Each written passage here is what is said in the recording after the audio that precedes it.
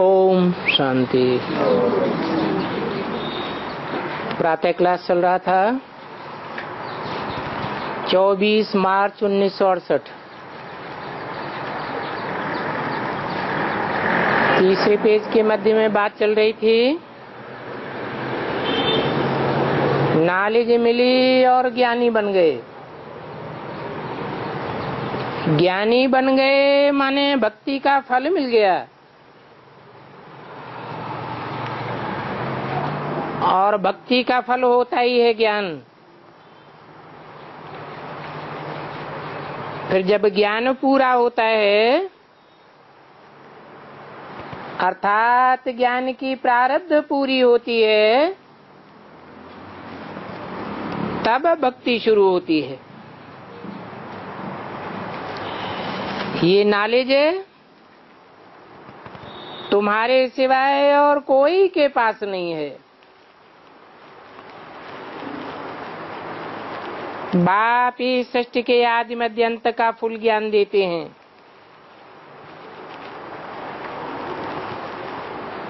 और कोई में ये ज्ञान नहीं है।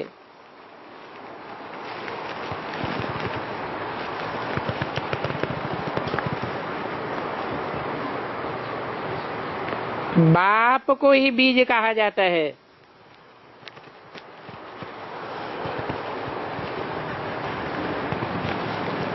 बीज में झाड़ की सारी नॉलेज भरी हुई है।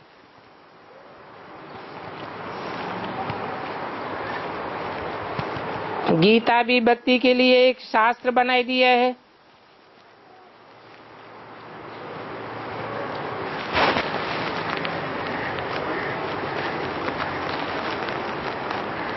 भगवान तो आकर के कोई शास्त्र नहीं बनाते।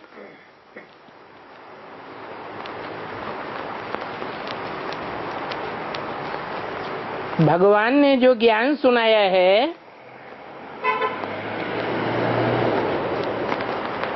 वो ज्ञान ज्ञान का गीत है।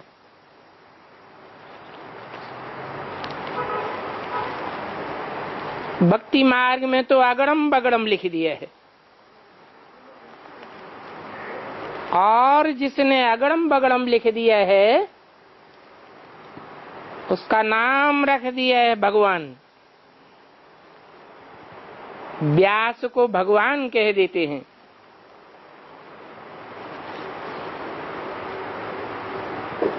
व्यास को कहा जाता है कथा सुनाने वाला।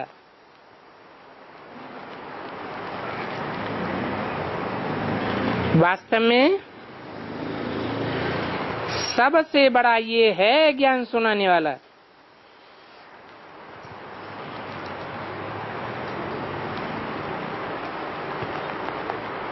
बाबा ने तो कोई शास्त्र नहीं लिखे।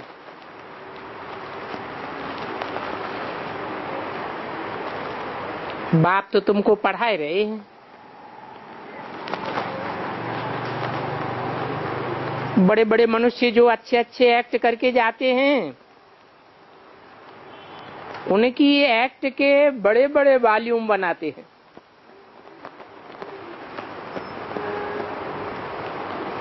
नेहरू जी की जीवन कहानी की कितने बड़ी बड़ी वॉल्यूम है।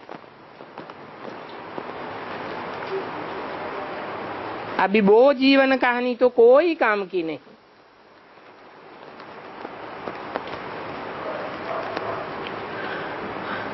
वो तो विकारी है।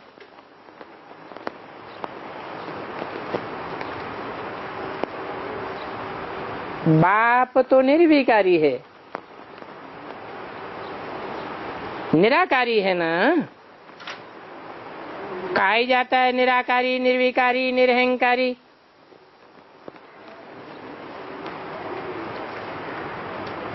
दुनिया में बड़े आदमियों की महिमा तो करते ही हैं।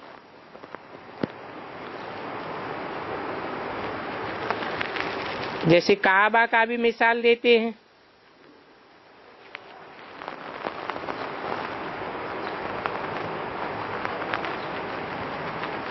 तुलसीदास के लिए भी कहते हैं। तुलसी गरीब ने बाजी की कोई न पूछे बात।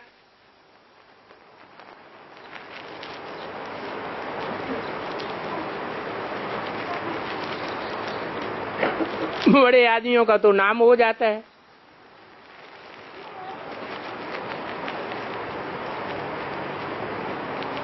तो जिस काल में तुलसीदास हुए वो बड़े आदमी थे। या दुनिया की नज़र में छो, बड़े आद, छोटे आदमी थे। क्या थे? तुलसीदास उस समय दुनिया की नज़र में तुच्छ माने जाते थे।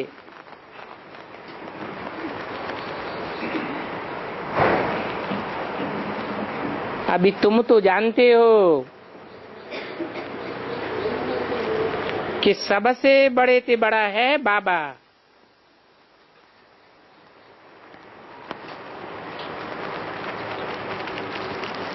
तो दुनिया की नज़रों में अभी छोटा है या बड़ा है? है? दुनिया की नज़रों में छोटा है। और मिसाल किसका दिया? तुलसीदास का मिसाल दिया। क्यों? तुलसीदास का ही मिसाल क्यों दिया?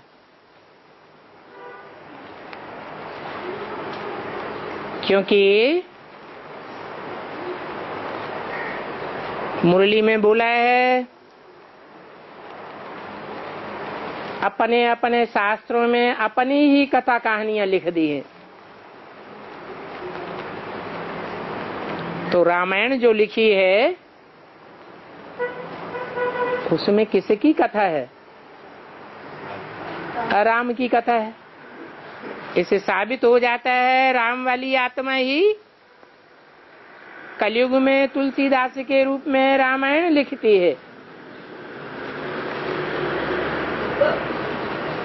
जो दुनिया की नज़रों में छोटी है, बाद में पता चलता है कि वो कितनी महान आत्मा है।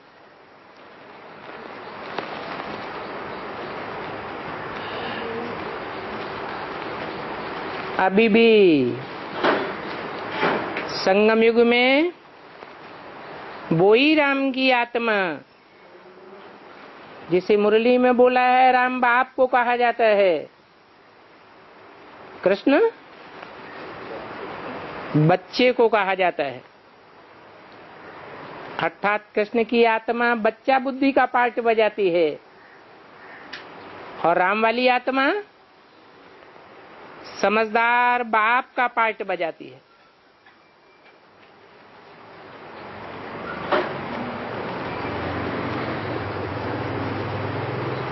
शिव सुप्रीम सोल, उसमें प्रवेश करते हैं।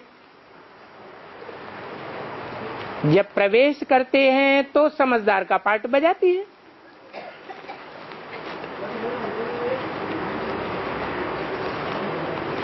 एक ही शरीर में दो आत्माएँ काम करती हैं।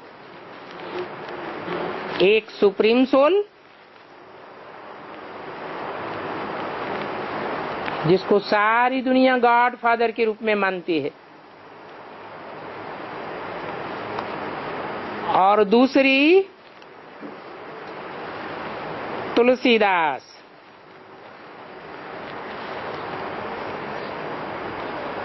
परंतु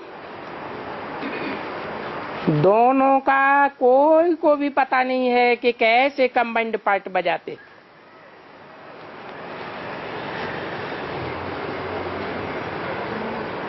बड़े से बड़ा शास्त्र है शिरोमणि गीता।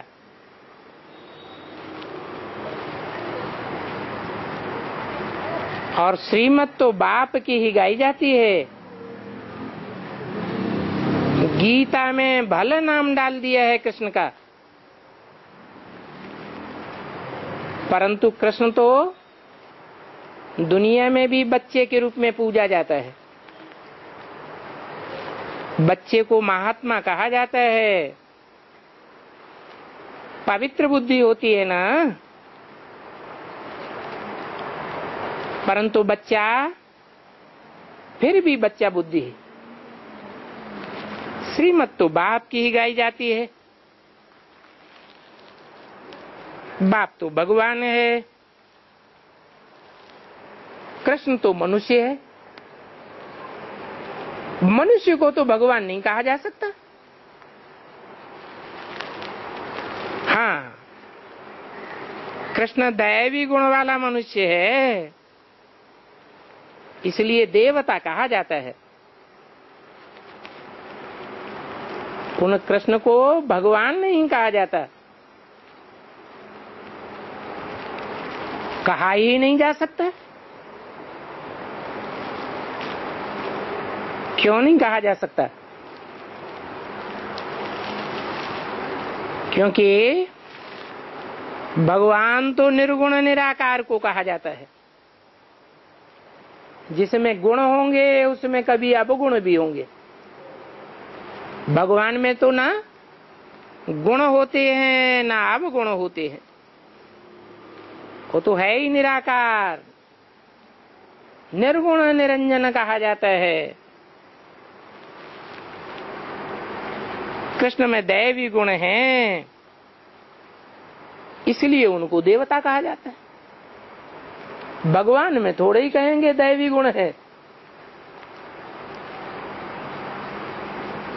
बत्तीस किरण वाला चित्र बच्चों ने बनाया है। उनमें देवताओं के गुण है कोई क्या? बत्तीस गुणों में से कोई भी गुण देवताओं का गुण है क्या? जैसे लिखा है, मुक्ति जीवन मुक्ति दाता। तो मुक्ति जीवन मुक्ति, ये काम देवताओं का है क्या? देवताएँ मुक्ति जीवन मुक्ति देते हैं या भगवान जीवन मुक्ति देते हैं? आसुरी गुण वाले को आसुर कहा जाता है। कंट्रास्ट है। सुर और असुर। सुर देवताओं को कहा जाता है। जो आपस में एक दूसरे के सुर में सुर मिलाकर चलते हैं। लड़ाई तो नहीं लड़ते भाषा से भी लड़ाई नहीं लड़ते, दृष्टि से भी लड़ाई नहीं लड़ते वाइब्रेशन से भी लड़ाई नहीं लड़ते। और जो सुर में सुर मिलाकर नहीं चलते हैं, उनको कहा जाता है असुर। उनकी होती हैं अनेक भाषाएँ। अनेक धर्म, अनेक कुल, अनेक मतें।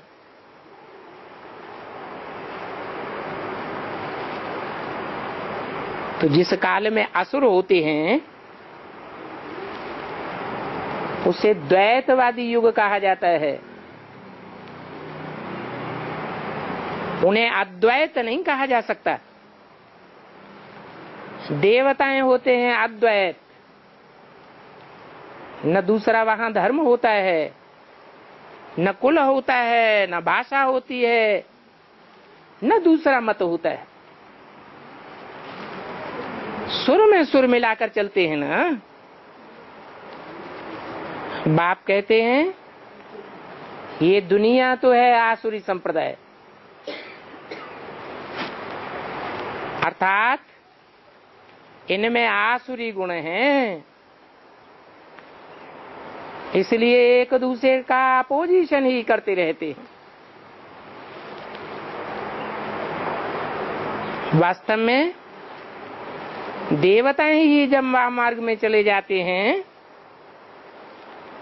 तो फिर उनमें आसुरी गुण आ जाते हैं। ये वाम मार्ग क्या है? है? बाया हाथ कहा जाता है ना? दाएँ हाथ से दान धर्म अच्छे कर्म करते हैं। और बाएँ हाथ से शौच क्रिया करते हैं।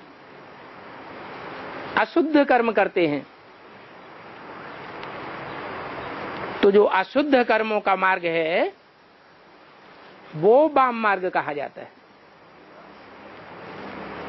शुद्ध कर्म किसे कहा जाता है?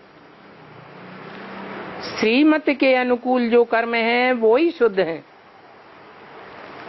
और श्रीमत के प्रतिकूल जो भी कर्म हैं, वो अशुद्ध कर्म है, वाम मार्ग के कर्म है। तो वाम मार्ग में जाते हैं तो आसुरी गुण हो जाते हैं। उन आसुरी गुणों में है ही मुख्य काम विकार।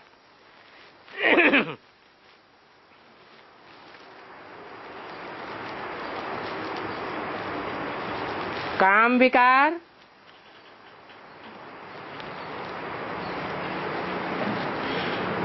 जब कहा जाता है तो उसका कनेक्शन है काम इंद्रिय से।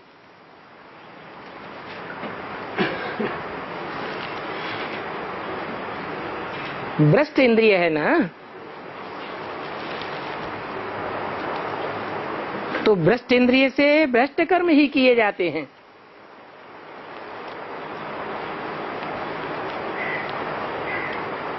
किसके द्वारा? सुरों के द्वारा या असुरों के द्वारा?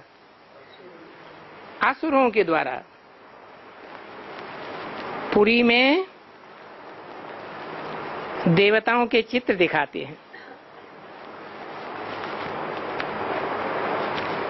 चित्र देवताओं के लगे हुए हैं। और फिर बड़े गंदे चित्र हैं।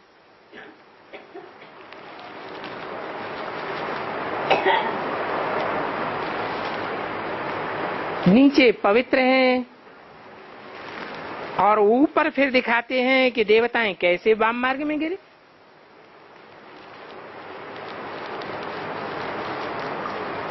ये क्या बात हुई? है? नीची स्टेज में पवित्र होने चाहिए? या नीची स्टेज में पवित्र होने चाहिए? ऊँची स्टेज में होने चाहिए पवित्र। लेकिन जो मंदिर यादगार है, कोणार्क में, सूर्य मंदिर, वहाँ क्या दिखाया गया है? नीचे पवित्र हैं और ऊपर गंदे चित्र देवताओं के लगे हुए हैं। जैन मंदिरों में भी दिखाते हैं।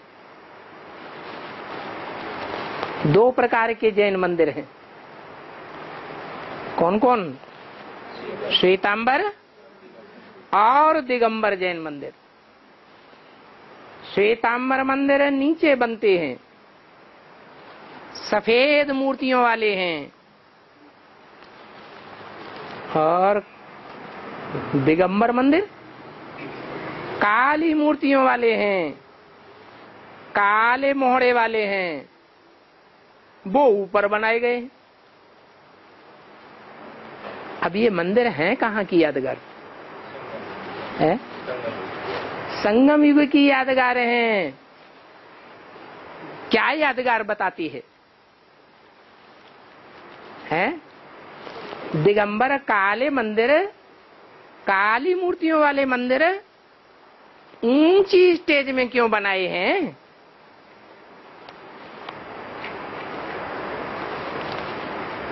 और सफ़ेद मूर्तियों के मंदिर नीची स्टेज में बनाए हैं। इससे क्या साबित होता है? हैं? अरे कहाँ की यादगार हुई? वो सफ़ेद मूर्तियाँ हैं। वो काली नग्न मूर्तियाँ हैं। नंगे मूर्ति का मतलब क्या है? और सफ़ेद वस्त्रधारी मूर्तियों का क्या मतलब है? वस्त्र देह की यादगार है। इससे साबित होता है कि संगम युग में जो ब्राह्मणों की दुनिया बनी उनमें दो प्रकार के ब्राह्मण हुए। एक ब्रह्मा कुमार कुमारियाँ सफ़ेद वस्त्रधारी। उनमें देह अभिमान होता है या आत्मिक स्टेज में टिके हुए होते हैं। है? देह अभिमान की यादगार है। और दूसरी मूर्तियाँ वो हैं, यादगार, जो निराकारी नग्न स्टेज में टिकी हुई है। कैसा अभ्यास करती है? निराकारी नंगा बनने का अभ्यास करती हैं। तो वो नग्न मूर्तियाँ ऊँची स्टेज में हुई या सफ़ेद मूर्तियाँ नहीं ऊँची स्टेज में हुई? नग्न मूर्तियाँ ऊँची स्टेज का पुरुषार्थ करती है। पुरुषार्थ तो करती है ऊँची स्टेज का। फिर चित्र क्यों गंदे दिखाए हैं? है? क्योंकि घर गृहस्थ मार्ग की मूर्तियाँ हैं। भगवान ने आकर के गृहस्थियों को ज्ञान दिया है, राजयोग सिखाया है। या सन्यासियों को सिखाया है? किसको सिखाया है? वैसे भी दुनिया में देखा जाए तो सन्यासियों में देह अहंकार ज़्यादा होता है, या गृहस्थियों में देह अहंकार ज़्यादा होता है? है? सन्यासियों में देह अहंकार ज़्यादा होता है। उनको अहंकार रहता है। हमने घर ग्रस्त छोड़ा है। क्या? हमने घर ग्रस्त छोड़ा है। हम त्यागी हैं। हम तपस्या करते हैं। अब सन्यासियों की तपस्या तो प्रत्यक्ष हो जाती है, क्योंकि जंगल में रहते हैं, दिखावा करते हैं। और भगवान ने जिन गृहस्थियों को योग राजयोग सिखाया, वो अंदरूनी बात है, या बाहर के दिखावे की बात है? है? भगवान ने जिन्हें ज्ञान योग से परिपूर्ण कराया है, उनको सिखाया है कि चलते, फिरते, उठते, बैठते, कर्म करते कर्म इंद्रियों से। क्या करो? है? शिव बाबा को याद करो अपन को आत्मा समझ करके। तो ये स्टेज ऊँची है? या सन्यासियों की स्टेज ऊँची है? कौन सी स्टेज ऊँची है? ये ऊँची स्टेज है। जिस ऊँची स्टेज में प्रवृत्ति मार्ग सिखाया है, अर्जुन को, अर्जुन गृहस्थी था या सन्यासी था? अर्जुन तो गृहस्थी था। सन्यासी समझते हैं कि गृहस्थी तो गिरी हस्ती है। और भगवान की दृष्टि में, अर्जुन गिरी हस्ती था कि ऊँची हस्ती था?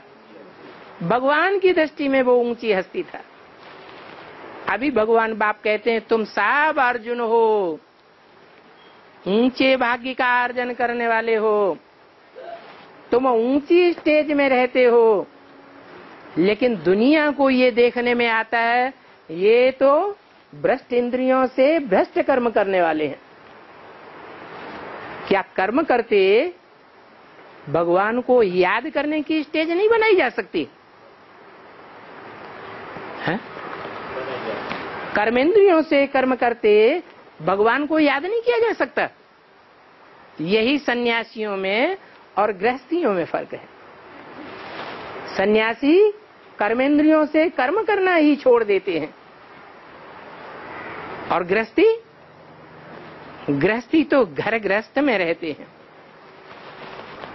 इसलिए उनकी यादगार जो जैन मंदिर हैं वो दो प्रकार के दिखाए हैं। दिगंबर जैन मंदिर और श्वेतांबर जैन मंदिर। यही कारण है कि कोणार्क के सूर्य मंदिर में जो नीचे मूर्तियाँ रखी हुई हैं, नीचे स्टेज वाली हैं, उनको पवित्र दिखाया गया है। क्यों? क्योंकि दूरवाज खुशवाज हैं। गृहस्थी में तो है ही नहीं। सन्यासियों जैसे हैं। और जो ऊपर मूर्तियाँ दिखाई गई हैं कोणार्क मंदिर में वो देखने में आता है गंदी मूर्तियाँ। लेकिन बुद्धियोग से कहा है? ऊँची स्टेज में है। अगर ऊँची स्टेज में न होती बुद्धियोग से तो गवर्नमेंट ऐसी गंदी मूर्तियों को निकाल करके बाहर कर सकती थी कि नहीं? लेकिन गवर्नमेंट में भी नहीं ताकत है। न आज की गवर्नमेंट में ये ताकत है, न राजाओं की गवर्नमेंट में ये ताकत थी कि उन गंदी मूर्तियों को निकाल करके कोई बाहर कर सके। क्यों ताकत नहीं थी? और क्यों ताकत नहीं है? कारण? सच्चाई? सच्चाई को कोई नीचे नहीं गिरा सकता। झूठा गर्त में जाता है। झूठी दुनिया गड्ढे में जाती है। विनाश को पाती है। सच्चाई तो सदैव ऊँची स्टेज में रहती है।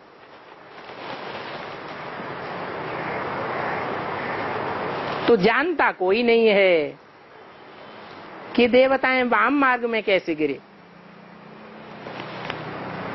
कब गिरे ये भी नहीं जानते हैं। यादगार मंदिर बनाए हुए हैं। कब गिरे?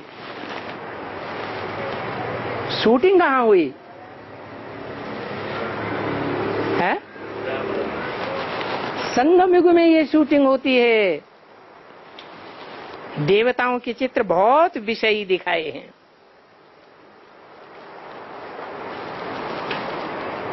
और निर्विषी सबसे ज़्यादा कौन बनते हैं? देवताएँ दुनिया में जितने भी धर्म हैं देवता धर्म सहित उन सभी धर्मों के बीच में सबसे जास्ती निर्विष कौन बनते हैं और सबसे ज़्यादा विषैले कौन बनते हैं है?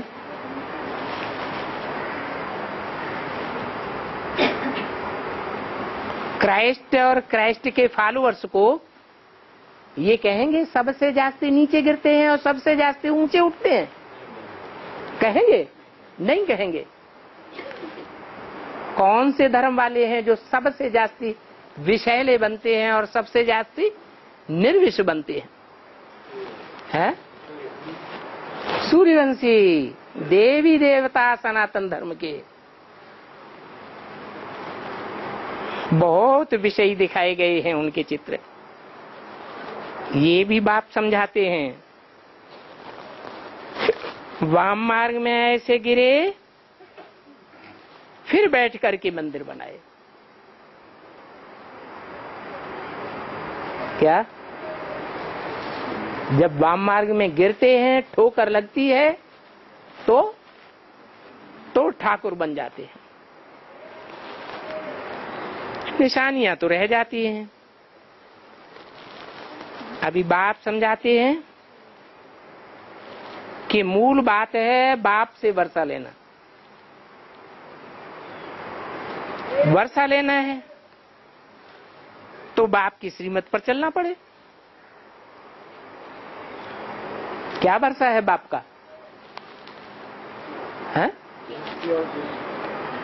बाप का वर्षा है मुक्ति और जीवन मुक्ति।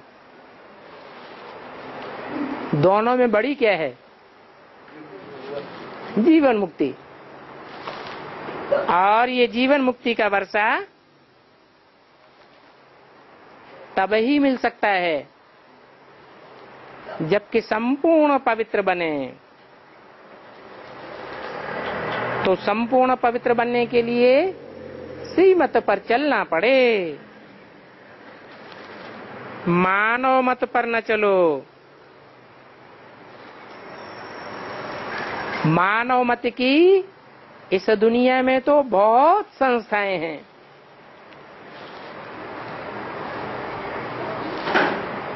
जिन्हें मानव मत की संस्था कहा जाता है। उस मत पर चलने से मनुष्य दिन प्रतिदिन नीचे ही उतरते जाते हैं।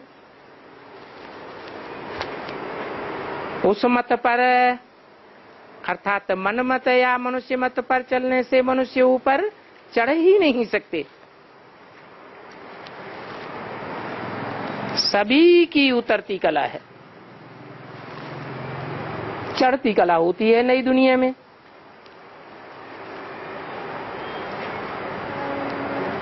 नई दुनिया कैसे बनती है? पुरानी दुनिया कैसे बनती है? बाप के नए ज्ञान से नई दुनिया बनती है।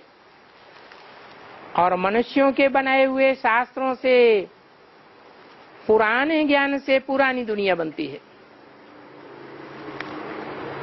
तो चढ़ती कला है नई दुनिया। इसलिए गाया जाता है, ज्ञान से सदगति होती है।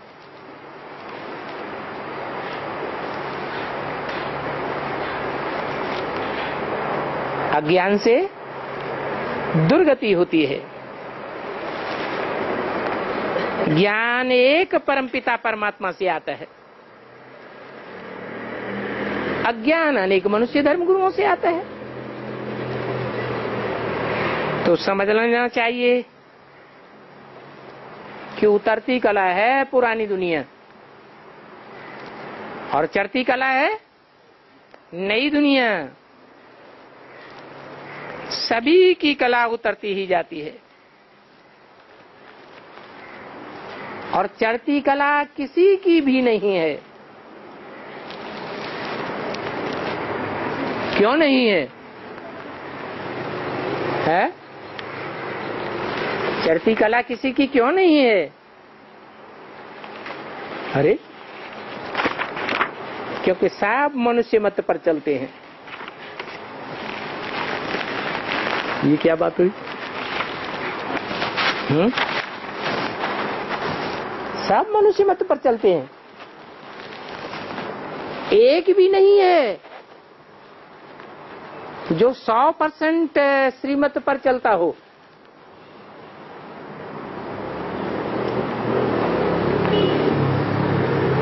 श्रीमत मिलती ही एक बार है।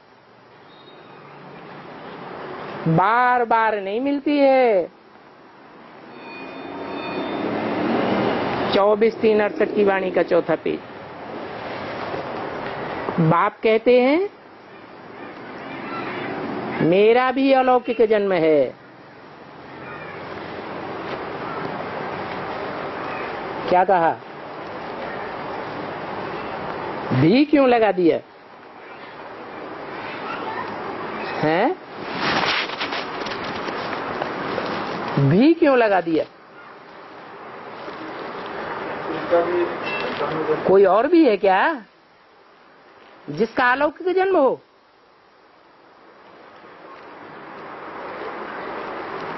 आने से ही तुमको नॉलेज देता हूँ।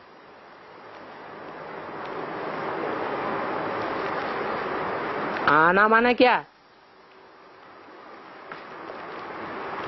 आत्मा इस संसार में आती है तो माँ के गर्भ में आती है। तब कहते हैं, बच्चा आया। या गर्भ से बाहर आती है, तब कहते हैं, बच्चा आया। है? बाहर आती है, तब कहते हैं, बच्चा आया। ये मिसाल किसके लिए दिया? किसकी बात हो रही थी? बाप की बात हो रही थी। तो बाप अभी आया या नहीं आया? है? आया कि गर्भ में आया? या दुनिया में बाहर आ गया? आया तो गुप्त वेश में आया या प्रत्यक्ष होकर आया? गुप्त वेश में आया, जैसे बच्चा गुप्त गर्भ में आता है। जब प्रत्यक्ष हो जाता है तो सबक को पता चल जाता है। क्या बोला अव्यक्तवाणी में? जो देखे, जो कानों से सुने, बाप से। बाप को देखे, उसके मुख से ये आवाज़ निकले कि कौन आ गया? मेरा बाप आ गया। ब्रह्मा कुमारियों का बाप नहीं। क्या? सब धर्म वाले कहें, मेरा बाप आ गया। तो आने से ही मैं नॉलेज देता हूँ। क्या? अभी आया कि नहीं आया? हा? आया? सारी दुनिया को मालूम पड़ गया। बच्चा पैदा होता है तो तो सारी दुनिया को मालूम। कोई ये कहता है कि बच्चा नहीं आया? कमाल। बच्चा पैदा होता है तो दुनिया में जो देखेगा उस बच्चे को और जो सुनेगा, किसी भी धर्म वाला हो, क्या कहेगा? बच्चा आया। तो आने से ही तुमको नॉलेज देता हूँ। तो अभी आया कि नहीं आया? आया। अरे, आया? तो कभी ना आया तो नहीं आ जाता बुद्धि में। कभी आ जाता है ना? तो अभी आया कि नहीं आया? अरे बच्चा पैदा हुआ या नहीं हुआ? जन्म जयंती साकार की मनाई जाती है या निराकार की मनाई जाती है? तो साकार में बच्चा, भगवान आया या नहीं आया? है? अब फिर वही दुनिया वालों के लिए नहीं आया? है?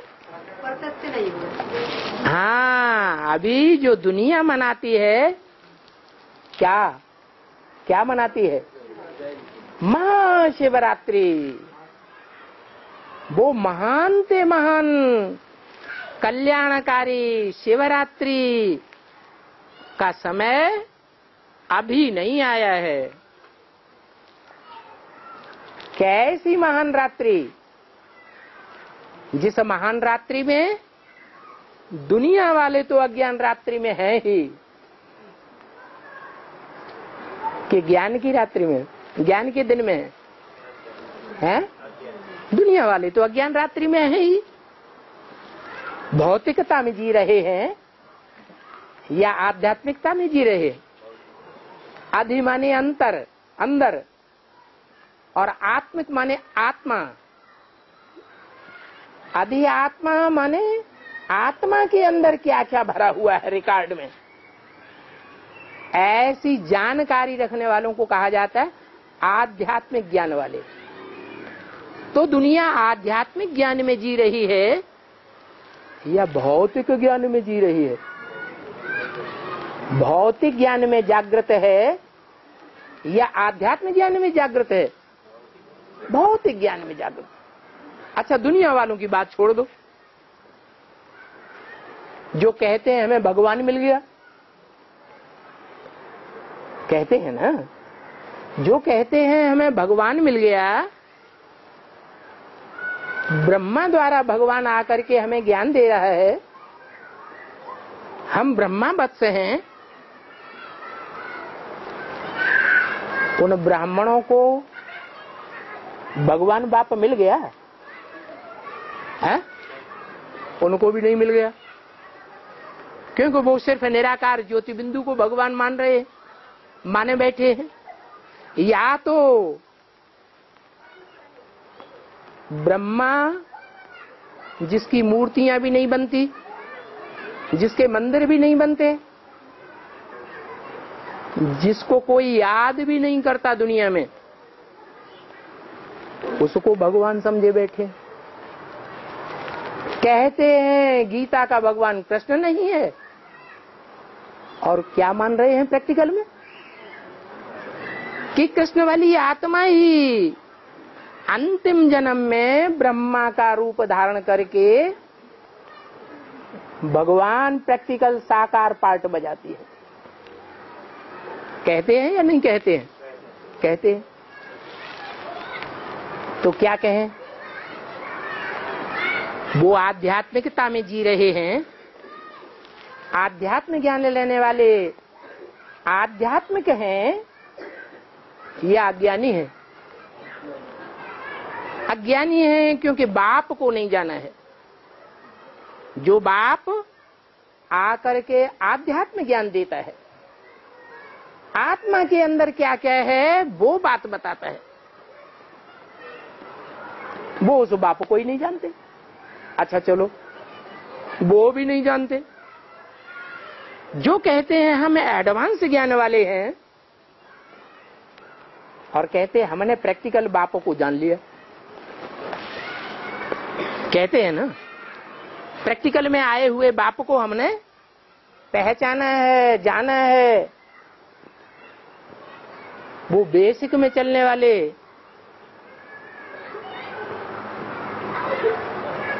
कृष्ण उर्फ़ ब्रह्मा के बच्चे ब्रह्मा वत्स वो बाप को नहीं जानते और हम हम बाप को जानते हैं। उनसे पूछा जाए कि तुम कहते तो हो, हम बाप को जानते हैं। हम अनिश्चय बुद्धि है। क्या तुम्हें कभी अनिश्चय नहीं आता? है? तो कोई नहीं कहेगा कि हम सदैव निश्चय बुद्धि कि बाप आ गया। कभी कभी दिल में आता है ना, पता नहीं बाप है, भगवान है कि शैतान है। जाने भगवान इसमें आता है कि नहीं आता है? तो कहें। कि भगवान बाप पैदा हुआ? भगवान बाप साकार में आया? है? आया? या अभी गुप्त ग्रह में है, गुप्त गर्भ ग्रह में है। अभी भी कहेंगे गुरु गर्भ, अर्थात गुप्त वेश में है। भगवान अभी संसार के सामने प्रत्यक्ष नहीं हुआ है। तो कब प्रत्यक्ष होगा? है?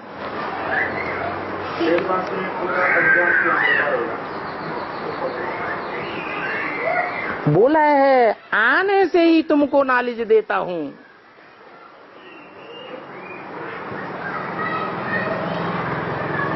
तो अभी हम नॉलेज लिए हुए हैं, भगवान की नॉलेज लिए हुए हैं या मनुष्यों का ज्ञान लिए हुए हैं हा? हमने मनुष्यों का ज्ञान लिया है मनुष्यों के ज्ञान पर चल रहे हैं या आए हुए भगवान के ज्ञान पर चल रहे हैं है? है? दोनों के बीच में है हैं? मिक्स मिक्स है अर्थात देवी देवता सनातन धर्म के पक्के नहीं है। पक्के सूर्यवंशी नहीं है। ज्ञान सूर्य के बच्चे नहीं है। मिक्स हैं। जैसे देवताएँ मिक्स हो जाते हैं दूसरे धर्मों में। कन्वर्टेड हैं। मनुष्यों के ज्ञान पर चलने वाले बच्चे हैं, भगवान के बच्चे हैं।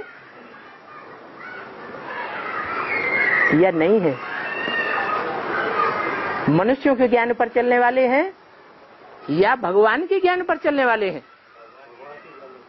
भगवान आ गया? अभी आया नहीं? अरे भगवान आ गया कि नहीं आ गया? है? अगर कहें आ गया तो अनिश्चय आना चाहिए कि नहीं आना चाहिए? नहीं आना, लेकिन आता है कि नहीं आता है? अनिश्चय आता है। इसका मतलब जो अनिश्चय आ रहा है वो अनिश्चय बुद्धि बनाने वाला कोई है या नहीं है? कौन है, है? अरे भगवान आता है तो निश्चय बुद्धि बनाता है अमर बनाता है कि मरने वाला बनाता है? भगवान तो आता है तो अमर देवता बनाता है। मनुष्य से क्या बनाता है? अमर देवता बनाता है। तो हम देवता बने हैं या अभी भी घड़ी घड़ी अनिश्चय में आकर मरने वाले मनुष्य हैं? क्या है? हैं? अभी भी हम घड़ी घड़ी अनिश्चय की मृत्यु में मरने वाले मनुष्य हैं। माने मनुष्य से पैदा हो रहे हैं या भगवान से पैदा होने वाले देवता हैं? क्या है? अरे भगवान के मुख की बातों पर अटल होकर चलते हैं, या मनुष्यों की बातें उठा लेते हैं सुनी सुनाई बातों से भारतवासियों ने दुर्गति पाई है ऐसी स्टेज में है हैं? हैं? भगवान की बात पर चल रहे हैं अनिश्चय नहीं आता है हैं? पूरा निश्चय नहीं होता अनिश्चय आता है ना तो हैं? अभी अनिश्चय देखो फाइनल परीक्षा अभी नहीं हुई है। संभाल के बोलना। हैं? पूरा निश्चय है। जरा फ़ोटो ले। दिल से बोल रहे हैं। हैं? अंदर की बात बाहर बोल रहे हैं। कि दिखावा करने के लिए बोल रहे हैं। हम ऊँचे पुरुषार्थी हैं।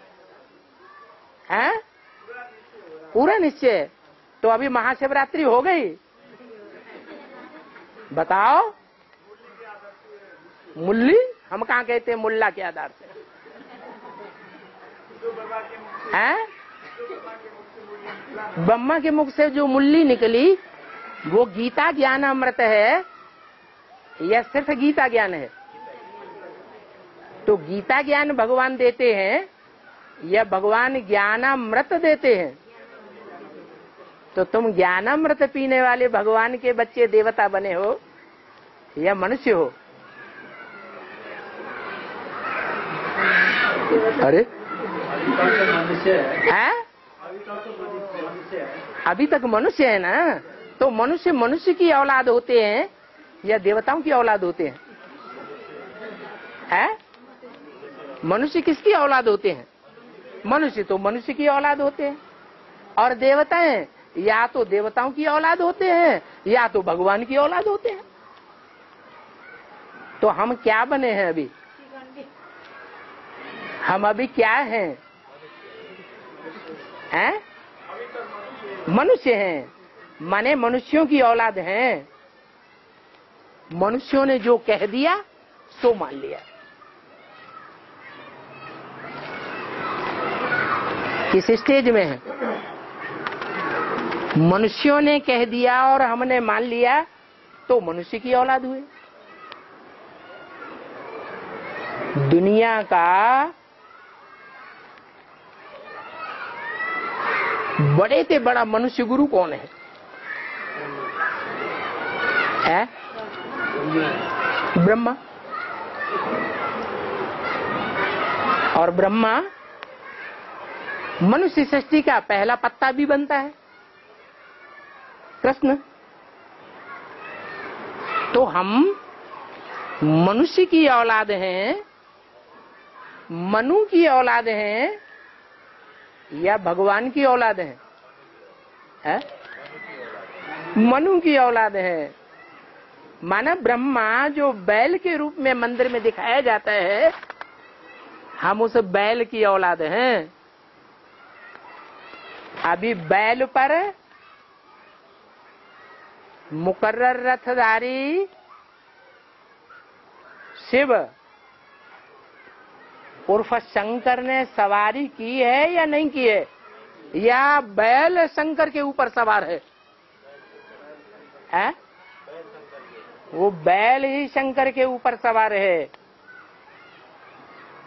जब शंकर हाई जंप लगाता है, पुरुषार्थ की संपन्न स्टेज में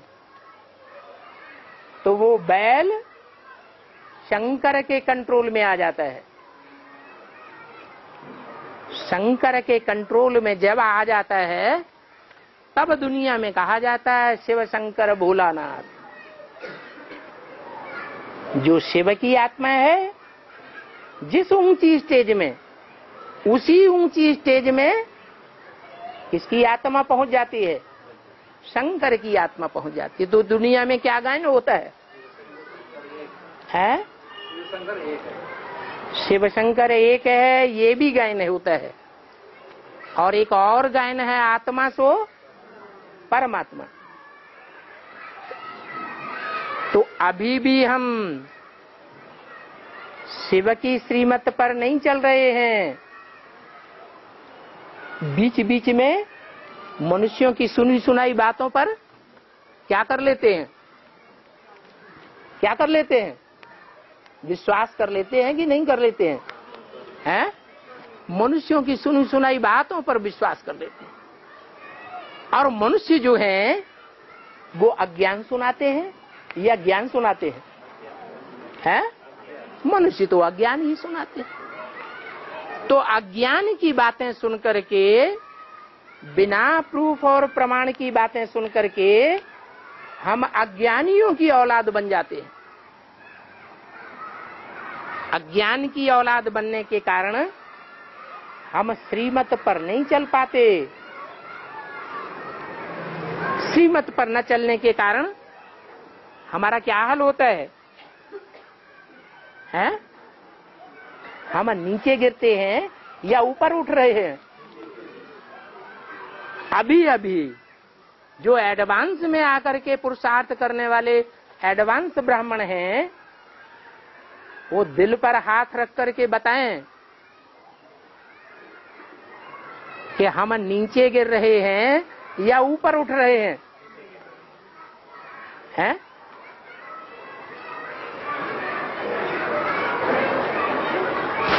प्रैक्टिकल जीवन में हम नीचे गिर रहे हैं या ऊपर उठ रहे हैं?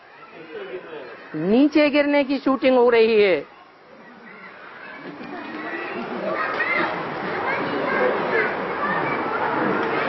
और भगवान जी के ज्ञान से हम ऊपर उठते हैं कि नीचे गिरते हैं? भगवान का ज्ञान जब हमें मिलता है तो हम ऊँचे ही उठेंगे। नीचे गिरने की बात ही नहीं है। उसको कहते हैं पुरुषोत्तम संगम युग। चढ़ती कला का युग या उतरती कला का युग? है? चढ़ती कला का युग। और वो चढ़ती कला के लिए गायन है। एक सेकंड में ब्रह्मा सो क्या बन जाते हैं? विष्णु बन जाते हैं। ब्रह्मा की भी आत्मा कौन है? एक है या अनेक है? ब्रह्मा भी अनेक है। जो अब्बल नंबर में ब्रह्मा गाया हुआ है सहन शक्ति का देवता, वो ब्रह्मा अभी संपन्न स्टेज में है या पुरुषार्थी की स्टेज में है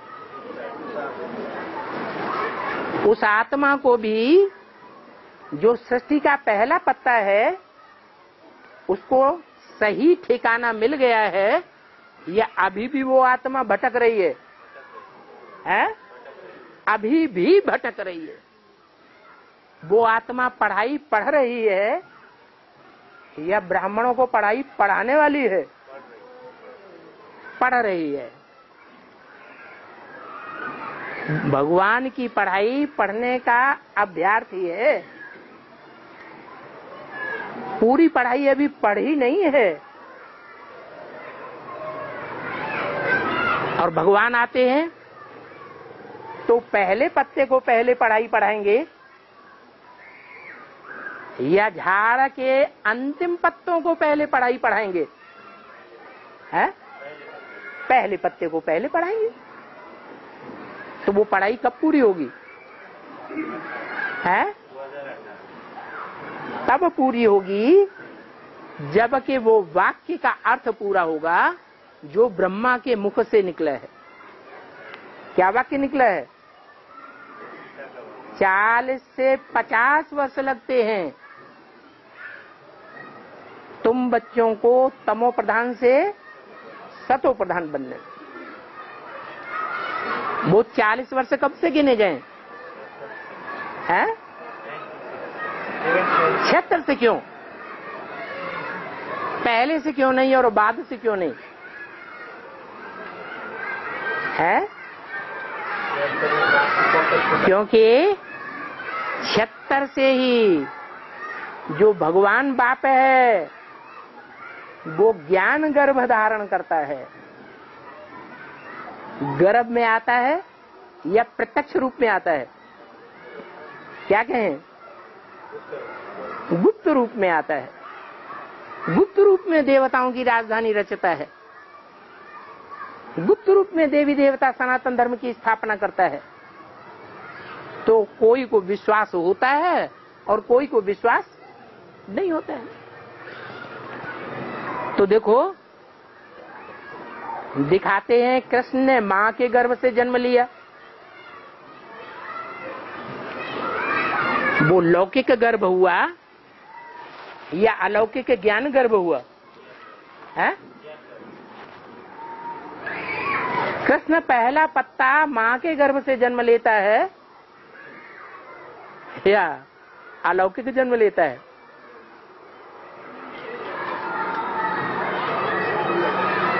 है? पहला पत्ता। षष्ठी का जो पहला पत्ता होगा, वो माँ के गर्भ से लेगा जन्म, या अलौकिक जन्म लेगा? वो तो माँ के गर्भ से ही जन्म लेता है। तो देखो, मेरा अलौकिक गर्भ और कृष्ण का लौकिक गर्भ कितना फ़र्क हो जाता है। भारत की भी शास्त्र झूठी हो गई। कौन से शास्त्र है भारत की? गीता। गीता में कृष्ण का नाम डाल दिया। तो वो शास्त्र झूठा हो गया, क्योंकि भगवान तो अलौकिक जन्म लेता है। शास्त्रों में तो लिखा है, माता के गर्भ से जन्म लिया देवती से जन्म लिया। पांडवों और कौरवों आदि की लड़ाई भी नहीं है, जो शास्त्रों में दिखाई गई है। लौकिक रीति से लड़ाई दिखाई है, या वो अलौकिक लड़ाई है? ज्ञान अज्ञान का युद्ध है, सत्य असत्य का युद्ध है या हिंसक युद्ध दिखाया है। नहीं, शास्त्रों में। हिंसक युद्ध दिखाया है दे अभिमानियों का युद्ध दिखाया है। अभी तुम तो पांडव हो। पंडा बाप भगवान के बच्चे हो। पंडा कहा जाता है पंडयति, जो रास्ता दिखाता है, उसको पंडा कहा जाता है। तो दुनिया में सबसे बड़ा पंडा कौन है? दुनिया का सबसे बड़ा पंडा तो भगवान ही है, जो सारी दुनिया को सच्चा रास्ता दिखाता है, सच्चा ठिकाना दिखाता है। तुम सभी पंडे हो। क्या? तुम सभी रास्ता दिखाने वाले पंडे हो। पंडा बाप के बच्चे पंडे हुए ना? उन्हें कहा जाता है पांडव। पंडों को गाइड कहा जाता है। तुम हो सभी को बाप के घर ले जाने वाले। क्या? तुम सभी अभी प्रैक्टिकल जीवन में? तुम्हारा जो धंधा है, वो दिली धंधा क्या है?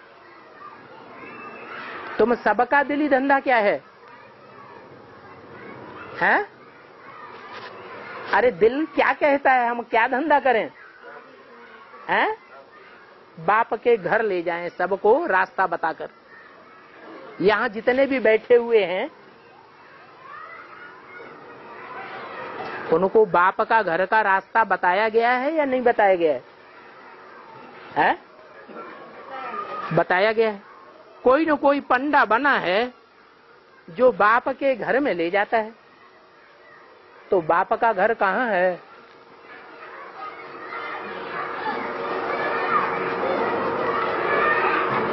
जिस घर में तुम सभी को ले जाया गया है। अरे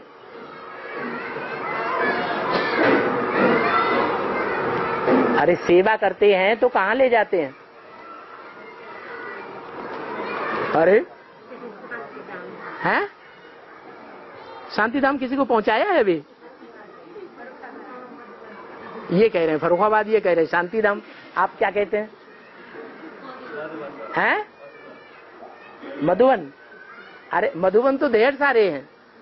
बाबा ने कहा, जहाँ जहाँ मिनी मधुबन बनावेंगे, वहाँ वहाँ बाप दादा आवेंगे।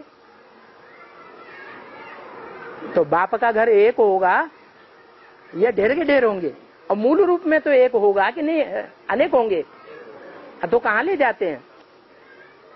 आत्माओं की सेवा करते हैं, जिन ब्राह्मणों की सेवा करते हैं, या जो ब्राह्मण नहीं है, उनकी भी सेवा करते हैं तो सेवा करके कहाँ ले जाते हैं? हैं? बाप के घर ले जा, कहाँ है बाप का घर? परमधाम, किसी को ले गए? यहाँ जितने भी पंडे बैठे हुए हैं, वो परमधाम किसी को ले गए? हैं? फरुखाबाद ले जाते हैं। तो इससे साबित होता है कि फरुखाबाद ही मनुष्य सृष्टि के बाप का घर है। मनुष्य सृष्टि के बाप का घर है। जो बाप विश्व का मालिक बनता है, उस मालिक का गायन फरुखाबाद में है, अभी भी। तुम सभी बाप के घर ले जाने वाले हो? सभी को दुख धाम से शांति धाम ले जाना है या नहीं ले जाना है? कहा ले जाना है आखिरी है? दुख धाम से निकाल कर शांति धाम ले जाना है। तो शांति धाम क्या है? है? मुरली में बोलते हैं शांति धाम को याद करो। सुखधाम को याद करो। बोलते हैं ना? शांति धाम को याद करो। सुखधाम को याद करो। अपने बाप को याद करो।